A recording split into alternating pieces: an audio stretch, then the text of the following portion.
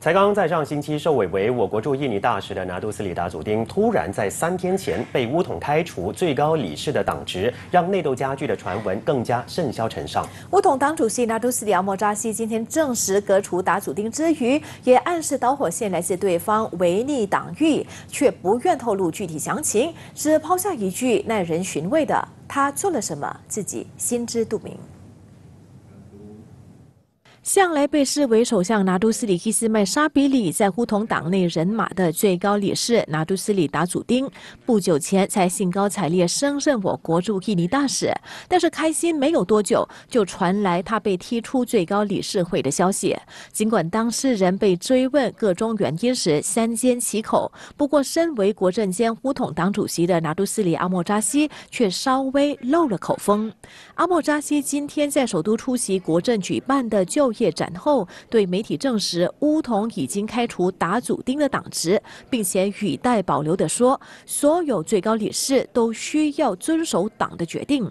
不过，当记者连番询问详情时，有点招架不住的阿莫扎西唯有要求记者将问题抛给达祖丁，还冷言冷语地丢下一句：“他自己在什么时候做了什么事，他最清楚。” Saya fikir tanyalah diri beliau sendiri.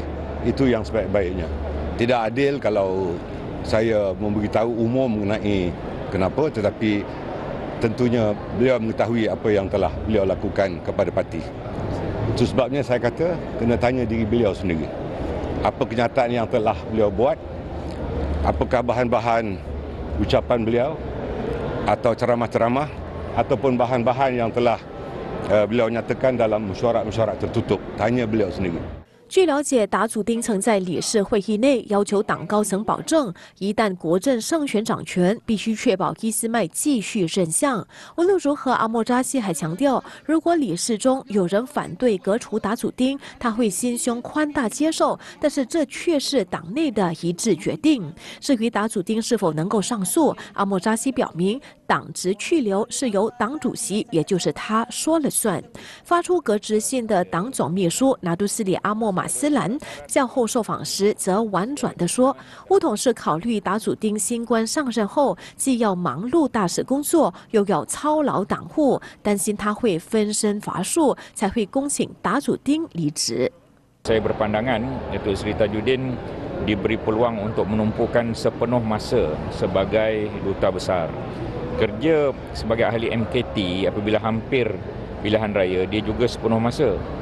Uh, mungkin MKT diminta untuk uh, meneliti banyak perkara dalam biro-biro yang tertentu ya. Uh, ini strategi parti yang memerlukan sepenuh masa uh, kepada ahli MKT oleh itu bagaimana Datuk Seri Tajuddin ingin sepenuh masa sebagai duta dan sepenuh, masa dalam MKT uh, tentulah uh, menyukarkan tugasnya 根据网络流传的革职信，专注大使职务的确是马斯兰提到的委婉说法。然而，细看信函发出的日期，在本月二十一号，会发现达祖丁是在受委大使后的隔天就被开除党职。虽然人走茶还未凉，但是乌统最高理事会将在今晚八点召见雪州国政前宣传主任伊山加里尔，相信届时可能委任他取代达祖丁的位置。属于扎西派。记得医生也在脸书发文感谢受邀出席会议，表明自己会全力以赴造福乌统和国家。